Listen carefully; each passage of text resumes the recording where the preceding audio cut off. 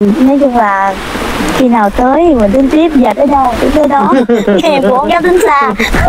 Em cũng nhưng mà xa. theo theo nhân đậu á, là em phải chuẩn bị trước cái tâm lý á, là phải đi theo chồng rồi. Đi. Theo chồng mới được chứ. Ừ, giống như là chồng đâu vậy đó. Thì nếu người ta chấp nhận thương em thì em đâu thì người đó ở đó như vậy là ờ, quyết định câu cuối cùng là phải bắt ghẻ mới được. Rất dễ À, cỡ nào cũng dâu. bắt ghẻ chứ. Dạ đúng rồi. Không làm dâu dạ đúng rồi. Rồi rồi rồi rồi thí dụ như còn cha mẹ người ta rồi sao? Dạ. cô nương.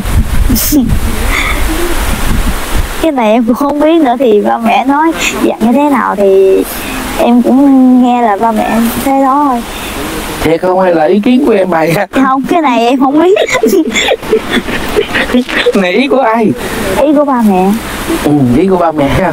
Như vậy là thưa quý vị khán giả ờ, nếu mà có ờ, bất cứ một quý vị khán giả nào mà thầm thương trộm nhớ bé thì năm nay thì 21 tuổi à, là một cô gái à, chưa từng trải qua bất cứ một cuộc tình nào. À, nhưng mà có một điều khá là đặc biệt ở đây. Ừ, nếu mà quý vị ờ, quyết định là thầm thương trộm nhớ ờ, bé thì thì phải chuẩn bị trước cái tâm lý là bắt rễ quý vị giả nhất quyết là ờ, không cho chú rể uh, rước dâu. Và bắt gửi kèm theo cái điều điều gì cho chàng gửi Ờ, tặng nguyên ngôi nhà luôn. Là ờ, là dạ. là cha mẹ vợ là sẵn sàng là dây mượn tiền à, tìm đủ mọi cách để tặng cho chàng rể một ngôi nhà. Là- wow cái điều kiện rất là tuyệt vời luôn ra thưa khán kiện để bắt gửi để rồi ờ, cho lại một cái chàng gửi là một cái cái cái nhà. Ừ. ừ, ừ. một điều kiện Vậy vừa có vợ nè mà vừa có căn nhà nữa quý vị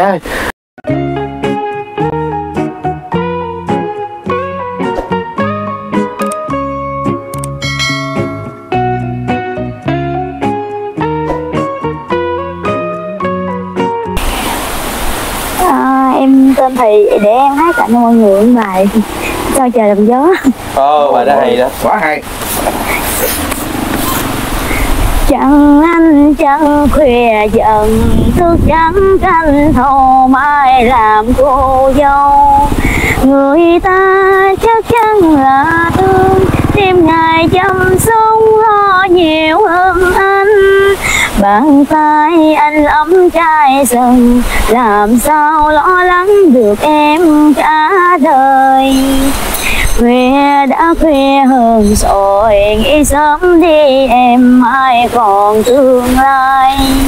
Mười hai bát nước đụng trong ngày đẹp nhưng ngày chia tay, ngày mai em bước qua cầu. Ngày mang nỗi nhớ ngày anh mãi sầu sao trời làm gió đẩy con thuyền sang bên người ta? Dòng sông dân người qua duyên tình ai cánh trở trăm bề đường em giờ chung lối với ai rồi em không mình anh tại số phận mình thôi đến rồi đi sao buồn làm chi? Rồi, rồi thầy học hát ở đâu mà hát hay dữ thầy? Hả, có đi học đâu không? không. Tự tự ha, tự học tự hát thôi ha. Dạ. Nhưng mà sao em có một giọng hát ngọt ngào dữ vậy? Có em có tập luyện gì không? Chàng ơi chàng. Thôi bây giờ như vậy đi em ờ, ngồi xuống ờ, cho anh ờ, hỏi thăm chút xíu nha. Ừ. em có thể ờ, giới thiệu về bản thân mình cho quý vị khán giả trong ngày hôm nay ờ, được biết đến em không? Em tên gì? Em tên Thùy em tên thì ha. Rồi là quê ở đâu nè? là quê Sóc Trăng. Ờ, năm nay là em bao nhiêu tuổi rồi thì? Dạ 21 21 tuổi ha. Ờ, anh thấy em á, là có một cái ờ, ngoại hình á cái gương mặt á ờ, rất là đẹp luôn á. Ừm, nhưng mà anh không biết rằng á ờ, em có bạn trai chưa? Hả? Dạ chưa Ờ, em em có bạn trai chưa? Dạ chưa. Chưa luôn ha? Dạ. Nhưng mà từ trước tới giờ ờ, đã từng có cuộc tình nào ờ, trải qua chưa em dạ không em không có quen cũng không có tìm hiểu ha tại vì em không tìm hiểu khi cái tuổi còn nhỏ nên em không Không có 21 trẻ. tuổi rồi. Không tình chú 21 tuổi là cũng ờ, khá là chững chạc rồi Ờ, anh nghĩ chắc cũng ờ, ờ, đã đến lúc mình ờ, tìm một nửa còn lại rồi đó. Rồi thì khi nào tới cái gì tới thì nó tới. Ờ, em ờ, thì em cho anh hỏi thăm nè. Ờ, nếu mà sau này á ờ, chàng hoàng tử của lòng em á là em có giống như là ước mơ về chàng hoàng tử như thế nào không? Ờm, thì em nghĩ là nếu mà người ta chấp nhận thương mình đó thì em chỉ cần là biết lo. Biết lo dạ em.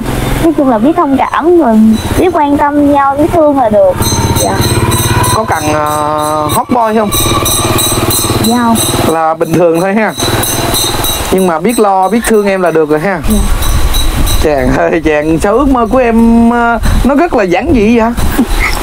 Sao mình không ước mơ một một chàng ờ, trai giống như là ờ, khá là tuấn tú khôi ngô rồi? Không em thấy đơn giản nó dễ hạnh phúc hơn. Ờ, đơn giản mà nó dễ hạnh phúc ha. Dạ. Ừ. nhưng mà từ trước tới giờ á em trải qua đến năm nay là 21 tuổi rồi á anh nghĩ rằng chắc ờ, em cũng có mối tình đầu hả ta? Đó giờ có đi học có thầm thương chậm nhớ anh nào không? Dạ không. Dễ gì không được. Hay là thì giấu đây dạ không có. Nhưng mà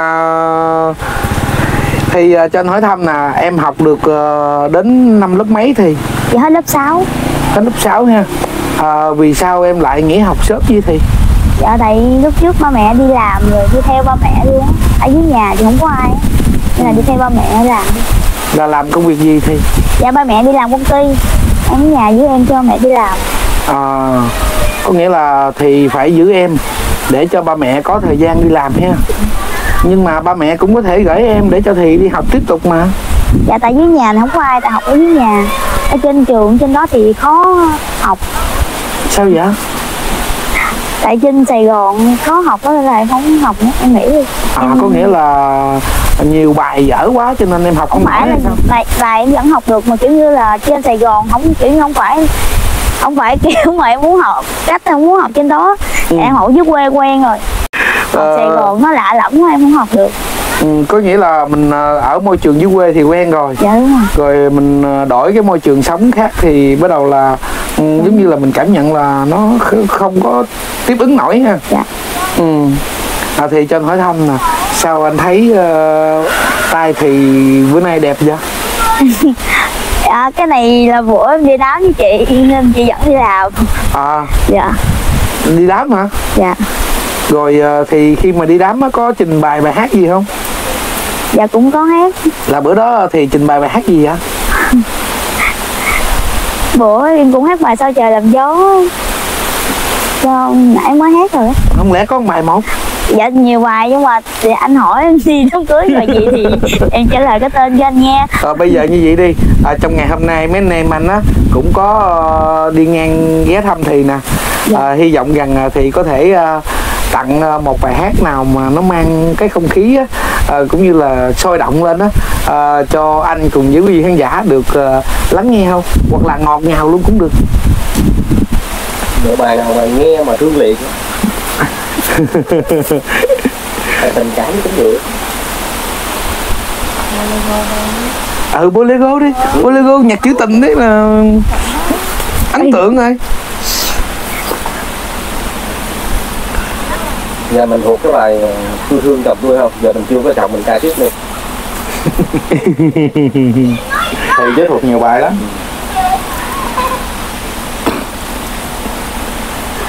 Còn ờ, giai đoạn căng thẳng. Đang ờ, không phải thường ngày thuộc nhiều quá tự nhiên hỏi ngang cái quên ngang. Không nhớ lời dạng như là thấy anh lại ờ, đẹp trai quá rồi ngại hay gì?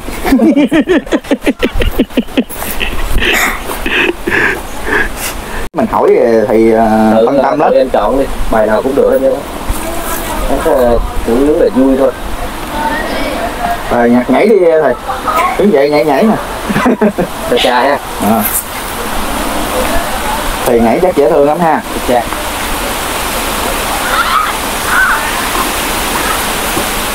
thưa vị khán giả.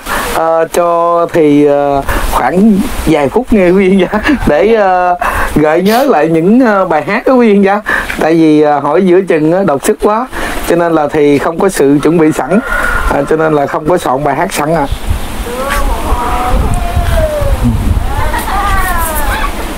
để hát bài đạo làm con cho anh. Ờ. Ừ, bài đó rất là hay luôn nghe tựa là thấy ý nghĩa rồi đó khi đấng sinh thành, sinh ta ra đời cảm ơn ông trời cho ta kiếm người. Phải sống thế nào để cha đừng buồn? Phải sống thế nào để mẹ được vui? Tình cha bao la như núi cao ngang trời, tình mẹ sông lớn như biển cả mênh mông. Chỉ mong cho ta lớn không nên người chỉ mong nhìn thấy nụ cười của ta. Dù cha ra sao vẫn luôn là đấng sinh thành, dù mẹ làm sao vẫn luôn mang nặng đẽ đau. Chỉ mong cho ta lớn không nên người quên. Chỉ mong chỉ mong nhìn thấy nụ cười của ta. Chỉ mong nhìn thấy nụ cười của ta. Dù cha ra sao vẫn luôn là đấng sinh thành. Dù mẹ làm sao vẫn luôn mang nặng đẻ đau. Chỉ một giây thôi nhắm mắt quên cuộc đời. Hãy nghĩ suy lại những việc làm của ta. Chỉ một giây thôi nghĩ tới cha một lần dấu vết trăng treo vẫn đang từng ngày mong ta. Wow. Quá hay rất là tuyệt vời luôn. Ừm, anh thì à, được biết á, thì là biết ca nè rồi ờ, biết nấu ăn đồ cũng rất là ngon.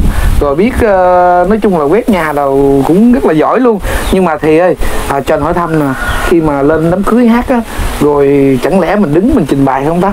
Có bài nào mà thì không em hồi đó giờ em không có nhảy. Chưa có nhảy hả? Em cũng không minh họa luôn. À, thì biết múa không? Múa giống như là tại vì đó giờ em hát em không có muốn. Có từng tập múa lần nào chưa? Không em không có đam mê đó. Ừ. Rồi như vậy là thì á, là năm nay là 21 tuổi ha. Nhưng mà vẫn còn là một ờ, cô gái. À, ờ, chưa từng có một ờ, cuộc tình nào trải qua đối với thì hết. Ừ. rồi hôm nay thì mấy anh tới ờ, quay chia sẻ thì lên ha. Lỡ mà có anh nào mà thầm thương chậm nhớ thì thì ờ, tới đây tìm thì hả thì dạ à, ra mắt ba mẹ trước ha. Rồi nếu mà ba mẹ mà đồng ý thì mình tiến tới luôn ha. Làm đám cưới luôn. Không không cái đó là chưa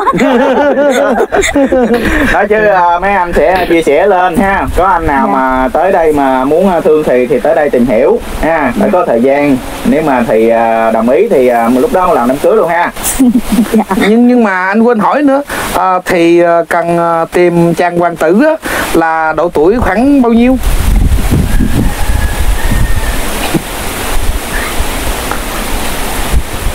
dạ hai mấy. Hai mấy cũng được. Thì bây giờ hiện tại là thì 21 rồi nè. Dạ. Mình tìm từ 30 đổ lại 21 hay sao? Dạ. ừ, tần số đó nhỏ, ha. nhỏ tuổi hơn thì chịu không? Dùng 18 được không? Sao vậy? Vậy là lớn tuổi hơn thôi ha. Dạ. anh nghĩ 18 tuổi trẻ rồi đẹp trai dạ không không. Thì thích người lớn chững chạc ha. Dạ đúng rồi. Thì còn cho anh hỏi nè rồi à, đi lại á, thí dụ mà muốn cưới em nó cần xin lễ gì không chàng trai đó đó. Dạ cái đó để nói em, chuyện em nói đi mẹ. ví dụ bên kia người ta, không ta chuẩn em bị cái làm này sao? em cũng không biết. Không ấy gì ờ, cho tại đem vì em không có Ừ. em không có đòi hỏi hay gì hết tại vì cái đó là để À. là nói chuyện với ba mẹ. À, là nhưng mà phải đem bùn dừa theo. Đặng không thôi thì không chịu thì uống đỡ đỡ nóng. Đỡ khát. hạ quả. Nghe vậy chịu không?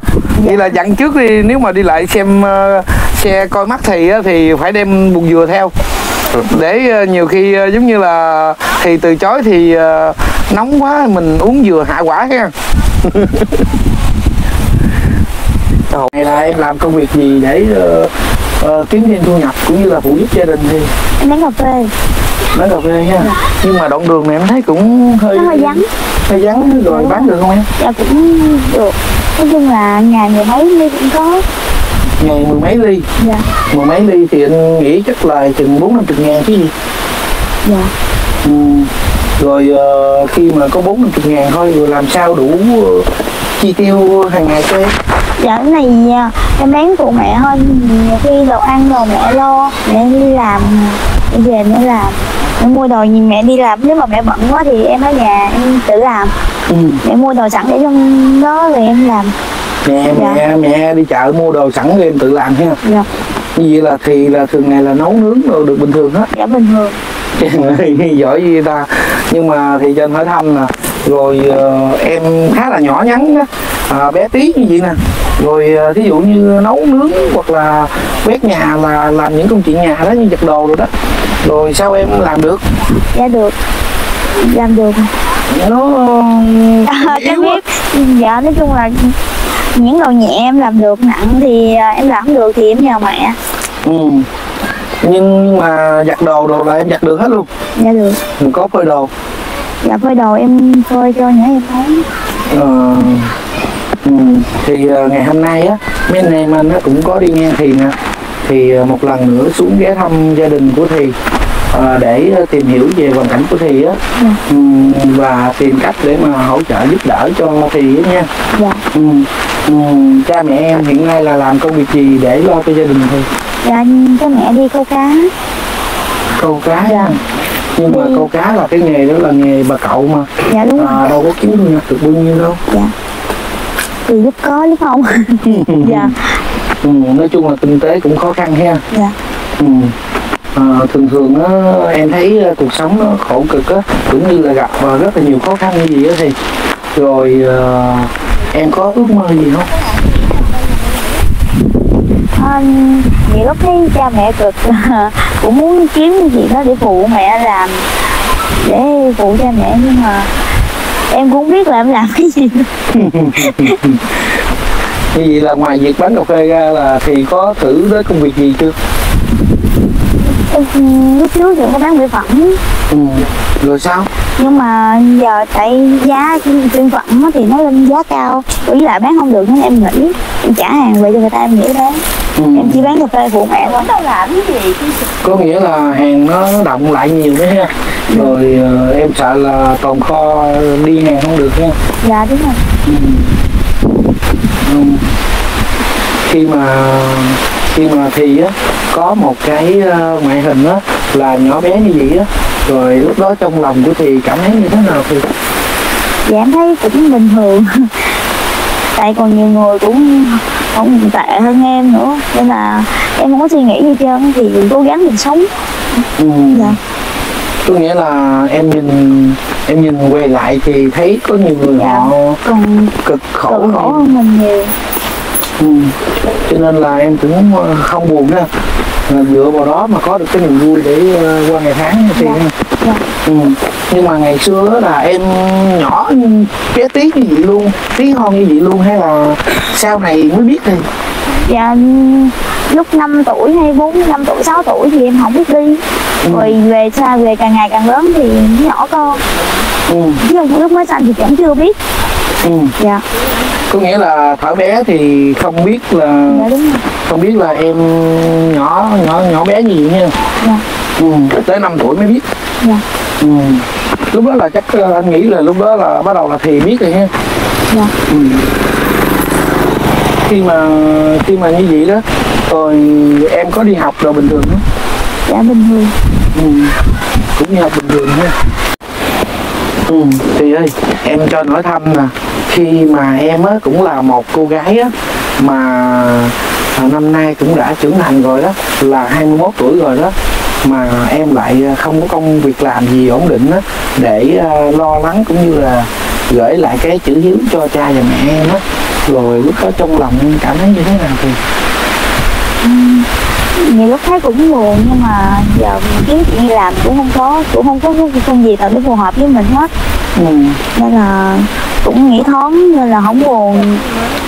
Nhưng mà trong khi đó là cha mẹ em á thì em nói là phải đi câu cá. Thì ờ, công việc làm á thì nó bấp bênh. Rồi em thấy cha mẹ nó dầm mưa giải nắng cực khổ như vậy đó để kiếm từng đồng về lo cho gia đình đó rồi em buồn đó dạ thấy nữa cũng thương cha mẹ nhiều hơn. Thấy mẹ cha thức đêm thức khuya rồi đi làm. Đi dân cá rồi. Thấy thương cha mẹ nhiều hơn. Nhưng mà bây giờ mình thương thì mình giúp mẹ được phần nào thôi, chứ hiện tại thì mình cũng không giúp được gì hết. Ừ. mình chỉ giúp mẹ được phần nào thôi. Ở nhà mình trông coi trước sau cho mẹ đi làm yên tâm xíu. Mà em có tự trách bản thân mình sao mà lại không giúp được cha mẹ? không nhiều khi cũng có suy nghĩ đó nhưng mà nghĩ lại nếu mình có suy nghĩ đó mẹ biết thì cha mẹ đã buồn thêm. À, tôi nghĩa là cái đó là có nhưng mà em giấu trong lòng nha. Cho nên là cha và mẹ em không biết nha. Ừ. nếu như mà sau này nè ừ, bỗng một ngày nào đó đó em có được công việc làm ổn định nè rồi em có được thật là nhiều tiền thì điều đầu tiên nhất em sẽ làm là làm gì? Em lo cho ba mẹ trước. Ừ. dạ em kiếm em sẽ em kiếm cái em kiếm mở cho ba mẹ cái gì đó để ba mẹ làm cái làm nó khỏe hơn. Ừ. để không thức đêm thức khuya nữa. Mẹ ba mẹ càng ngày càng lớn tuổi hơn chứ không có trẻ mãi như vậy được cũng không sức khỏe nhiều chứ mà đi làm như vậy được. Ừ. nên là nếu mà có tiền đầu tiên em sẽ lo hiếu cho ba mẹ trước. Rồi. Còn chuyện về sau thì em tính sau. Em tính cho em lo cho ba mẹ trước. Còn bản thân của em dạ bản thân của em á thì ờ, em tính sao? Tại vì ba mẹ cực với mình cũng lâu rồi từ nhỏ tới lớn cũng đã cực nhiều rồi nên là em muốn lo cho ba mẹ trước. Còn em thì từ từ em lo sao cũng được. Ừ. mình thì còn trẻ còn ba mẹ thì càng ngày càng già đi. Ừ, có khi nào em nghĩ là em sẽ tìm một nửa còn lại của em á để ờ, giúp đỡ cho em lo chăm sóc lo lắng cho em á để thế vào cái chỗ á, của cha và mẹ em á, cho cha và mẹ em không còn cơ cực nữa không? Dạ nếu mà em có một nửa còn lại thì em cũng không, em cũng không đi theo người ta, mà em ở muốn ở đây cho người ta làm rễ đây để em em chỉ muốn mẹ em là chắc chắn là sẽ bắt rễ rồi tại em thì không có làm dâu được. Là cái thứ nhất, cái thứ hai nữa là nhà em thì cũng không có ai hết nên là nếu mà có thể là em không có đi làm dâu. Vừa nãy em nói với anh á là em Dạ, có thể rồi. giặt đồ nè. Dạ đúng rồi em có thể giặt đồ nhưng chén. mà về bên kia thì nhiều khi làm không vừa ý người ta thì mẹ không yên tâm. Mẹ nói là mẹ không yên tâm. Thương con dữ vậy chàng?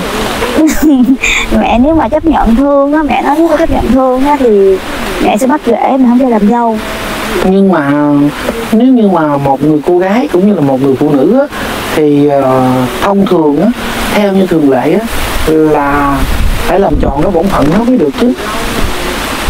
Mẹ tại vì mẹ thấy nhỏ con quá nên mẹ ờ, cũng trước gì rồi mẹ cũng nói trước trơn đó là không cho làm dâu. Biết đâu em tí hon vậy rồi về mẹ chồng thương rồi sao dạ thì mẹ nói nếu mà thương cả đầu không vậy mẹ cũng để cho hai một là về đây làm rễ không thì mẹ sẽ ờ, lo cho ở riêng cất nhà nhỏ cho ba hai đứa ở riêng cũng được. luôn? dạ ở Là- gần mẹ là được nói chung là ở gần ba mẹ là được chứ mẹ không cho đi xa là sẵn sàng là dây mượn để cắt cái nhà riêng cho rể luôn dạ chàng ơi. Thưa vị khán giả cứ giá nào cũng không cho em đi xa. Ừ, ừ. Dạ. À, thưa vị khán giả à, một cô gái. À, nếu mà ai à, à, giống như là thầm thương chậm nhớ à, bé thì thì à, tương lai sẽ được à, ông bà và vợ à, hỗ trợ cho một căn nhà luôn vị khán giả chàng ơi quý quá ta. Là là nói thiệt không? Nói thiệt không? Mấy này mình biết. Cái đó là thật mẹ nói từ đầu rồi nói mày tuổi không còn nhỏ nữa nhưng mà thương nếu mà ta thương chấp nhận thương em á thì mẹ sẽ bắt rễ chứ không cho làm dâu ừ. rồi, rồi sao ờ, mẹ em không đi tìm cho em đi mà để em tự tìm mà lại ra cái điều kiện nó khó quá vậy? Không phải là ra điều kiện khó mà tại vì mẹ em thương em nên là mới như vậy thôi chứ. Biết rằng thương rồi nhưng mà cũng phải cho bên nhà trai ờ, được ờ, giống như là chăm sóc lo lắng cho vợ người ta. Nói chung là khi nào tới thì mình tính tiếp giờ tới đâu thì tới đó. Em cũng không dám tính xa. Em cũng nhưng mà xa. theo theo nhân độ á, là em phải chuẩn bị trước cái tâm lý là phải đi theo chồng rồi. Đi theo chồng mới được chứ. Ừ, giống như là chồng đâu vợ đó. Thì nếu người ta chấp nhận thương em thì em đâu thì người đó ở đó như vậy là ờ, quyết định câu cuối cùng là phải bắt ghẻ mới được. Rất dễ à, cỡ nào cũng bắt ghẻ chứ dạ đúng rồi. Không làm dâu dạ đúng rồi. Rồi rồi rồi rồi thí dụ như còn cha mẹ người ta rồi sao? Dạ. cô nương. Cái này em cũng không biết nữa thì ba mẹ nói. Dặn như thế nào thì em cũng nghe là ba mẹ thế đó thôi thiệt không? Hay là ý kiến của em bày không cái này em không biết. Này ý của ai? Ý của ba mẹ. Ừ, ý của ba mẹ ha.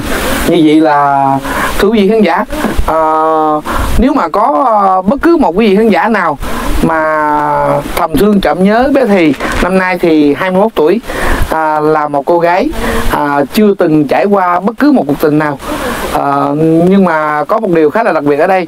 Ừ, nếu mà quý vị ờ, quyết định là thầm thương chậm nhớ ờ, bé thì thì phải chuẩn bị trước cái tâm lý là bắt ghế quý vị giả nhất quyết là ờ, không cho chú rể uh, rước dâu.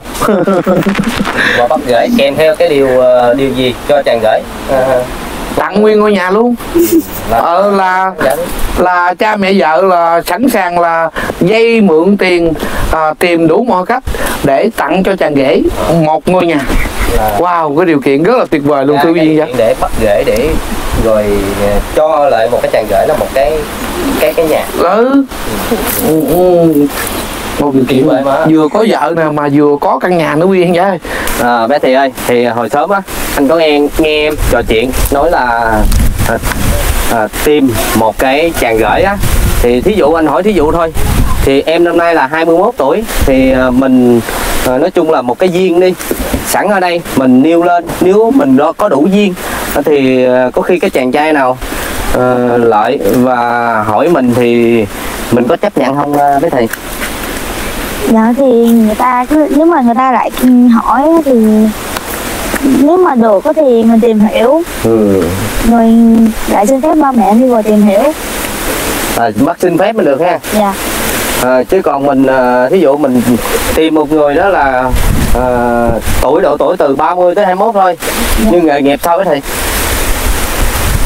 dạ nói chung là nghề nghiệp thì em không quan trọng. Em chỉ quan trọng là về chung là cái thương yêu à, thí dụ bây giờ em nói là không quan trọng nghề nghiệp thí dụ người ta bán vé số hay lụm mũ gì em cũng chịu hết đúng không? Dạ. à, cái này là ờ, nó thì nói nha cả nhà. Nói chung là không cần nghề nghiệp yêu cầu mà thương em là được đúng không? Ừ. mà cái điều kiện là hồi nãy nói là ừ, bắt rễ đúng không? Dạ đúng rồi. Ví dụ người ta có đủ điều kiện đó người ta muốn cưới em nè. Đem về nhà rồi người ta lo cho em người ta không chịu bắt gửi em, em suy nghĩ như thế nào? Dạ cái này là để ba mẹ em quyết định tại em chỉ nói theo cái quyết định của ba mẹ. À. Hay từ đó giờ em cũng không có suy nghĩ tới. Tại em nghĩ em cũng chưa có tâm lý là sẽ đến nghĩ tới đó. Vừa nè. Dạ nên là cái này là của ba mẹ quyết định. Thì em ờ, thí dụ ba mẹ em ờ, chỉ lo cho em thôi còn còn người yêu của em là lo cho em cả đời. Em phải mà một bên là cả đời một bên là cha mẹ. Nói chung là em chọn cái nào? Nói chung là phải chọn cái hai đúng không? Nói chung thì anh nói giỡn thôi. Nói chung là một cái người á muốn đến với em là người ta đã thương em. À, nói chung người ta sẽ hy sinh tất cả vì em thì em có chấp nhận không dạ. Được ha? Dạ.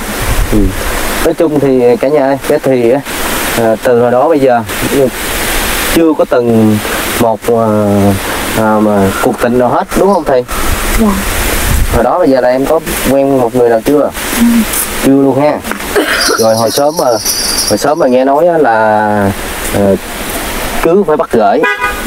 À, trong khi đó bắt gửi rồi đó là kèm theo tặng một cái nhà luôn. Nói chung là không phải tặng mẹ em nói là nếu mà hồi môn của hồi môn dạ, của hồi môn của hồi môn. Là nói chung là của hồi môn ha dạ. Trời cái nhà mà à, những cái chàng trai nào á từ 30 tới 21 à, nếu mà thấy mà bé thị ở đây dễ thương thì cứ alo à, cho mấy anh em à, nha. Thì mấy anh em sẽ sẽ sẽ, sẽ liên hệ. Trong khi đó thị thì cái nhà đó, đó là về đây nè. Ví dụ ờ, ở đây thì anh thấy trong đồng nè. Rồi ừ, gồm mà hai vợ chồng làm ăn sao em nói thí dụ thôi. Muốn bắt gửi á. Dạ thì về cho phụ với ba đi với ba Ừ. đi làm với ba. Dạ. Ừ, phụ và ba em làm gì? Dạ ba em đi một cái câu câu cá. Câu cá ừ, tại vì à, thường á thời theo anh được biết gái lớn phải theo có chồng phải theo chồng. Rồi còn cái này em kêu ngược về nữa mà nhưng mà em có một cái điều kiện là à, nói chung là một cái là à, của họ môn kèm cho cái nhà ừ, là là quyết định luôn đó ha. Ba em nói là với em là là, là nói cho một cái người à, cho người ta biết rõ là như vậy. Bây giờ có đổi ý không nha đổi ý rằng anh biết chứ sau này người ta nói cho cô ờ, bắt gửi này nọ đồ.